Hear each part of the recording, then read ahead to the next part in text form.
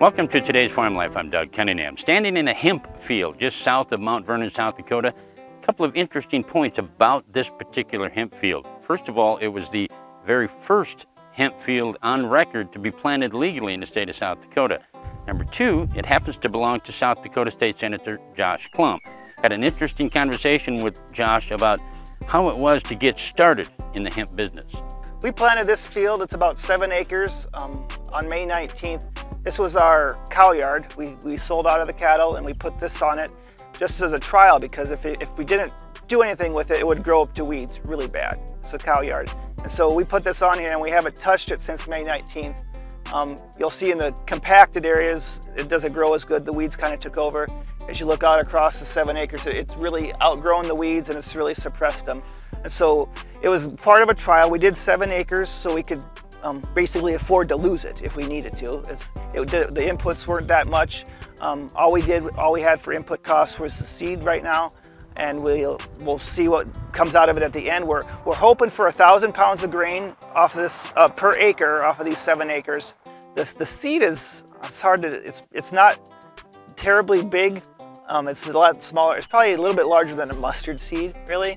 So it's small, and so and when you look at the charts and how we set the drill, there was no there was no hemp seed on the on the chart. So we kind of guessed. And when we got done, turns out we put on we were aiming for 20 pounds an acre. We probably put on closer to 30. So this was planted real heavy, and so it looks really good right now. But that's what we were coached on is about 20 pounds an acre is what we are shooting for. Um, so it's it's planted really thick. It's it's really difficult to walk through as you try to go through it. Um, I really have personally even gone into it more than 10 feet myself. Um, we'll combine it at 30% moisture roughly, and we'll have to screen it because there'll be a lot of foreign matter in it when we do combine it. Um, we'll have to screen it and we'll have to put it on air within one to two hours after harvesting. We'll have to get air on it because what we're growing here is seed for human consumption, um, grain for human consumption. So they're one of the first crops we've grown here that won't pass through an animal before it hits our dinner plate, so to speak. Um, so we'll grow it for that. So because of that, we can't let it spoil. Any spoilage would, would ruin the whole batch. So we'll combine it, 30% moisture, get it on air, dry it down to 9%, and then from there we'll be able to market it.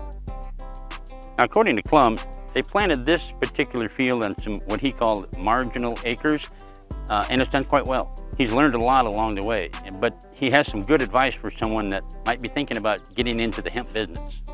So we, we purchased our seed from Horizon Hemp Seed up by Willow Lake, and um, we contracted with them to buy our grain back at the same time. So it's something I've said from the beginning back in the, legislative process of all this, don't buy your seed, don't try this until you know where you're gonna go with your product. And so that's what we've done. We have a contract for this grain, first, first the sale already, and then from there, I under, as I understand it, they'll take it, dehull it, and then take it to Glanbia Nutritionals in Sioux Falls, who process cereals out of it. Don't, don't do it until you know you have an outlet for it, you know, before you before you have some place to go with your, your and in this case, just the grain.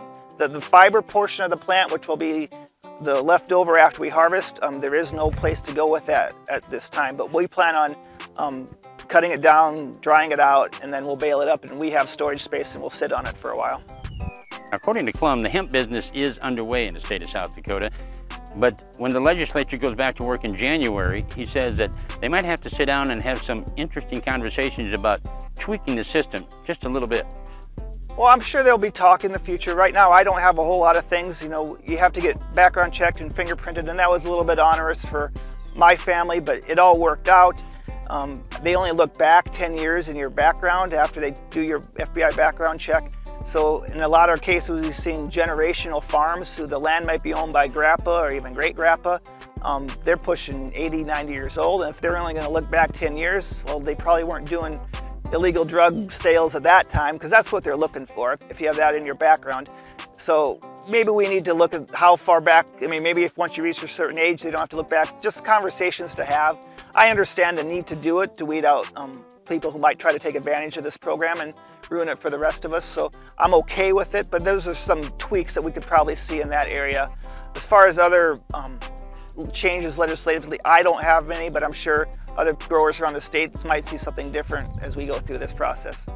So you know, you want to be able to recoup your costs. You know, when we had, when we start, you have a, you have the initial application fee, But then when you get approved, then you have a $500 application or license fee. And that's going to be an annual fee is $500. Maybe that's something else that changes in the future. But right now, the plan is and the hope is is to make this program self-sustaining. So we don't have to give taxpayer dollars to make this program work. As long as there has to be oversight and stuff, though, there's going to have to be some funding behind it. Well, it looks like the hemp business in South Dakota is underway. Remember, feel good about what you do today because what you do today is very important. Until next time, for today's Farm Life, I'm Doug Cunningham.